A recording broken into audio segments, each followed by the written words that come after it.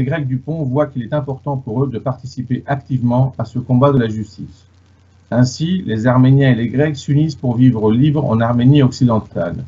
Il s'agit de mettre en application des clauses du traité de Sèvres, qui représente le seul de cette époque qui respecte véritablement les victimes du génocide.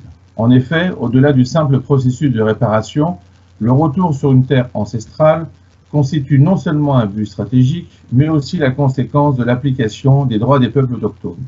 Il s'agit de plus d'un mix stratégique qui permet la convergence de stratégies qui sont certes différentes en raison de leur approche historique, mais qui ont le même but, lutter contre la barbarie d'une occupation représentant pour les Grecs du Pont une continuation de leurs revendications qui ne considèrent pas que la reconnaissance du génocide est un point.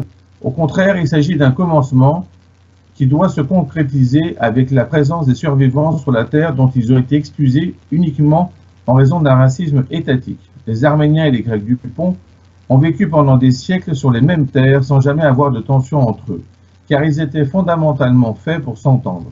Ces deux peuples, avec les Assyriens, ont été les victimes d'une même barbarie. Aussi l'Arménie occidentale est un devoir de mémoire. Ce n'est pas un acte de vengeance, mais bien un acte de justice, car les survivants n'ont pas donné naissance uniquement à des innocents, mais aussi à des justes qui savent comment lutter contre le génocide de la mémoire. L'Arménie occidentale se doit d'être libre et pour cela, elle doit être libérée. C'est dans ce cadre que les Grecs du Pont voient un rôle à jouer pour soutenir cette cause arménienne qui est aussi la leur, puisque l'hellénisme se bat toujours aux côtés des innocents et aux côtés des justes contre la barbarie qui tente de bafouer les droits de l'humanité.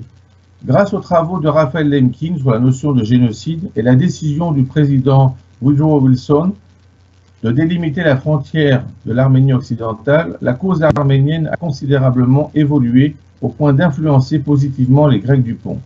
Ainsi, avec la déclaration de la zone économique exclusive de l'Arménie occidentale, ce pays renforce la réalité de sa liberté.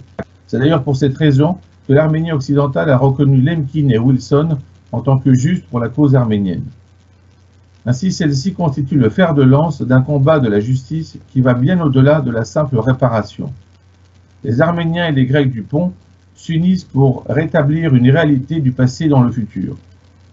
Sans tenir compte de la volonté de la barbarie, ces peuples luttent désormais ensemble pour réaliser leur vision commune de la libération de leur terre ancestrale. C'est pour cela que de nombreux Grecs prêtent désormais la carte d'identité de l'Arménie occidentale, car il s'agit d'un acte pratique qui peut se faire à l'échelle de l'individu sans devoir rendre compte à qui que ce soit, sans attendre des résultats diplomatiques qui tardent depuis des décennies. Ainsi, l'Arménie occidentale, qui a pris son sort en main grâce à la volonté de combattants qui n'ont jamais oublié la cause de tout un peuple, transcende l'existence du génocide lui-même. Car les Arméniens et les Grecs du Pont ne sont pas seulement des victimes du génocide. L'arménité et la grécité sont des entités bien plus anciennes et diachroniques aussi, elles ne dépendent pas uniquement du génocide.